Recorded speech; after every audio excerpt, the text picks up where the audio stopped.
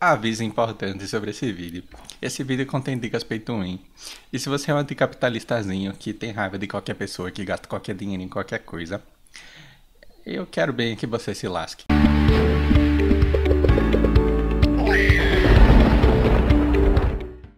Saudações pessoal, tudo bem? Perdão pela vergonha alheia. Alheia porque foi o Murk, não foi eu que falei. Peguei todos os nodes aqui de recurso para experimentar, para poder falar mal. Como que a gente vai falar mal se a gente experimentar? Mas a verdade é que é tudo muito bom. Mas eu com ressalvas, né? Com ressalvas.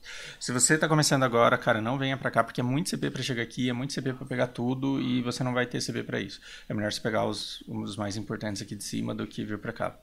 Se você já acumulou bastante material nas outras regiões, você tem CV para chegar aqui, então vamos refletir juntos a respeito do, do, do custo-benefício de cada um deles. É, cara, esses de madeira, esses de madeira eles eh, custam 5 de CP cada um, fora o sacrifício, né, sangria que é chegar lá, é, mas ele se paga. Então, assim, você vai pagar, você vai investir 5 pontos de, de contribuição em cada um desses campos, fora o caminho para chegar até aqui. Mas, eh, vamos lá, eu tô com esses campos há exatas 24 horas. Nessas 24 horas eu parei pelo menos 6, entre dormir e sair de casa ontem.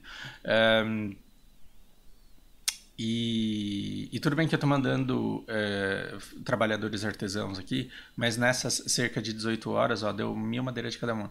Eu, eu me livrei de todas as madeiras que tinha aqui para poder é, ter um registro né, da, da, da, quantidade. Então, em 18 é, horas, mil madeiras, eu acho que puta, tá, tá muito bom.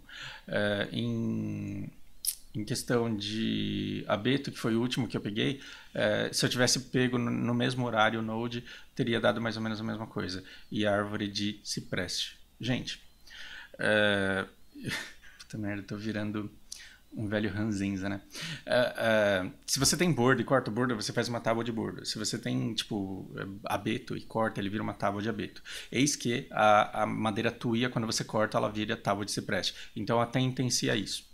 Eu não sei o que a gente vai fazer com essa madeira, mas essa madeira em inglês chama turra com H e J lá, é, e, e, eles traduziram para tuia e o mesmo cara que traduziu para tuia tem um colega que traduziu para cipreste.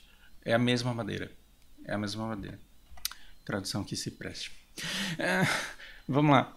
É, os campos de metal. É, percebe que a distância é mais ou menos entre a distância de, de árvore e a distância entre essas duas cidades é mais ou menos a mesma. Na verdade, está mais perto daqui do que daqui.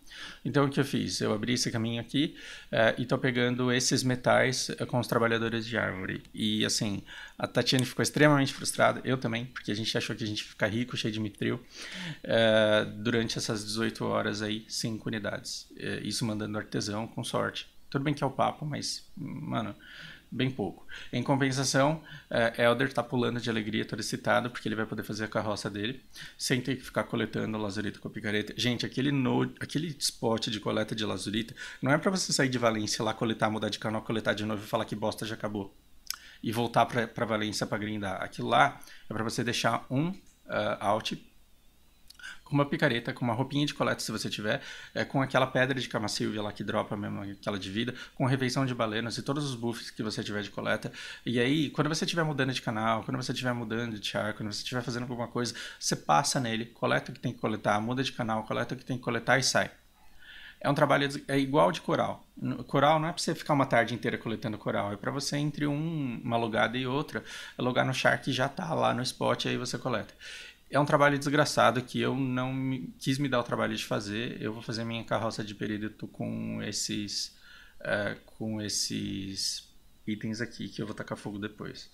É, o, dá bastante zinco, eu zerei aqui para ver, então em umas 18 horas 700 de zinco tá muito bom, tá melhor do que qualquer lugar de Altinova, fora os itens de sorte. Isso daqui vem de rodo, né? Então eu estou mandando trabalhadores semelhantes, a quantidade de ferrugem é muito maior que de zinco, mas né?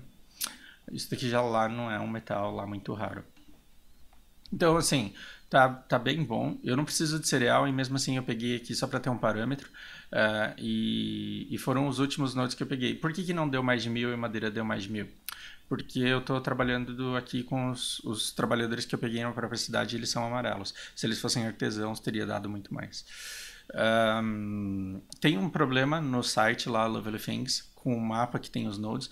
Tem uma informação errada lá, porque ele aponta os nodes aqui como custando 3 e 5.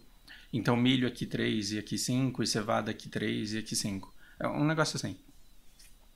A verdade é que todos os campos custam 3. Então eu fiquei feliz porque eu acabei gastando menos CP. Uh, ah, a quantidade está ok para os trabalhadores que estão coletando lá. Uh, se você tem muitos trabalhadores, se te falta cerveja e você não quer ficar fazendo frango, está uh, aqui uma, uma solução.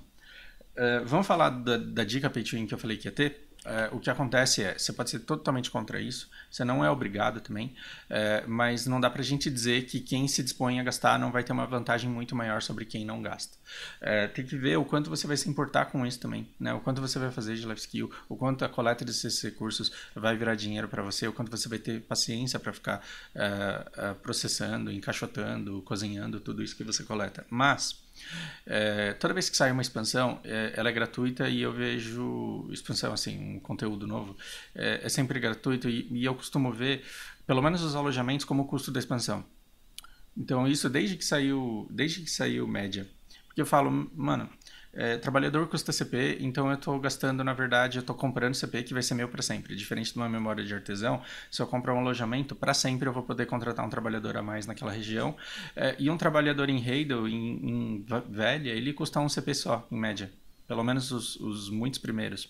Agora aqui já começa custando 8, 11. É, cara, é muito caro o alojamento. E aí quando você compra os alojamentos daqui, por exemplo, a cidade já te dá um, você compra três, fica com quatro. Quatro é tudo que você precisa, você não precisa mais do que isso. É, então, por ter comprado quando saiu o Camassiva os trabalhadores daqui, agora que saiu o Driga, é, eu já tinha os trabalhadores para coletar aqui nessa região. Tudo bem, eu tive que desligar eh, um monte de material que eu não preciso mais, que eu já tenho. Quando eu for fazer alguma entrega, eu vou juntar um monte de cavalo em Valência, é, lotado lá, e aí a hora que eu encher o estábulo, eu faço a entrega tudo de uma vez, não tenho pressa importante é o acúmulo do recurso. É, e aí, quando saiu o Driga, eu comprei os alojamentos também, então eu tenho é, quatro trabalhadores, o que me permite, é, isso daqui, né? Me permite é, não gastar CP algum com isso. Então, o que eu faço? É, eu pego alojamento só quando eu quero gastar energia. Então, se eu venho com Alt aqui eu quero, é, e quero roletar trabalhador, eu vou pegar um alojamento, só pelo tempo que eu for roletar. Entende o que eu estou fazendo? Então eu já tenho quatro. Estou é, com três amarelas. Aí eu vou, eu venho aqui, pego um alojamento para quê? Para eu poder roletar, porque senão eu vou lá e ele vai falar que não, não tem espaço mais. Aí eu gasto toda a energia. Se eu conseguir um, uh, um artesão, eu já mando esse daqui embora uh, e já substituo. Ou vendo e substituo. Uh, eu vou ver até eu vou fazer isso sempre que eu tiver energia em alt que eu não queira para outra coisa. Se você tiver é, outras prioridades, patrígio, coleta, o que, o que quer que seja, o que eu estou te dando é uma opção. Se você acha que vale a pena investir sua energia aqui para não ter o trabalho de ficar esperando esses lazarentes chegar no nível 30 para talvez eles serem promovidos, aí fica roletando energia aqui nessa região, grinda, grinda, grinda, grinda, a hora que você cansar, vem aqui e roleta né, volta, grinda. A hora que encher energia, você vem aqui é, e roleta. Um, eu acho que é um investimento que, cara, se paga muito, porque se você parar para pensar, mesmo se você vender o material Tier 1, ele dá uma grana desgraçada. Quanto que custa mil madeira? madeiras? Né? E o que, que você está dando em troca dessas madeiras? Um, umas cervejinhas lá. É, a, acaba sendo uma grana que te permite trabalhar muito é, no seu período FK. Uh, e que nunca vai te dar mais do que o grind, mas que é bastante recompensador. Você precisa se esforçar muito menos para ter uma renda bem legal. Ok? Uh, eu faço tanto vídeo assim, e eu passo a impressão para vocês de que eu só faço isso na minha vida. Uh, e tem gente que tem que está muito mais avançada do que eu no jogo. E a verdade é que não, que a grande parte do tempo eu estou sempre a ficar tirando a parte da, da coleta, e a parte da coleta ela é bem tranquila, mas a grande eh, parte do tempo é simplesmente gestão de, de micro ações assim, que você coloca o char para fazer. Eu não espero que com isso eu tenha direito de estar tá muito mais avançado do que quem não para de grindar, do que quem grinda 12 horas por dia. Claro que esse cara tem que estar tá à minha frente. É, mas é uma opção para que você é, consiga se organizar, aproveitar ao máximo o tempo que você tem. Esse é um jogo, para mim, basicamente de gestão e eu acho ele bem legal por isso. Ele requer muito menos esforço do que parece, é porque a impressão que eu passo para vocês com essas beds é que eu jogo o tempo inteiro, é que eu fico fazendo coisa o tempo todo, e na verdade nem é isso. Ok? Bom, é, é, último, último feedback que eu quero passar para vocês. É, eu, eu venho sempre gerar conteúdo por impulso de alguma coisa que eu estou muito empolgado para compartilhar porque eu acabei de descobrir. Eu acho que é por isso que esses conteúdos mais básicos que vocês vivem me pedindo demoram tanto para sair eu nunca tomo iniciativa. Eu vou tentar fazer pelo menos de culinária hoje. Mas até aí eu prometi vídeo de Mercosul e não fiz até hoje. Tem umas promessas que eu faço e não cumpro. Vou fazendo. Tenham fé. Ok? Um bom dia para vocês. Curtam bastante o mapa. E até a próxima.